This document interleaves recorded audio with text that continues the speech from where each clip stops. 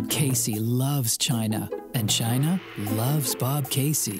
Casey took his own money and invested in a Chinese company. Casey cashed in, then helped China cash in too. Casey cast the deciding vote to funnel billions in tax credits to Chinese companies, and Casey stuck you with the bill. Casey raised middle class taxes to pay for his handouts to China. We lost jobs, and families paid more. It's another Casey con job. American Crossroads is responsible for the content of this advertising.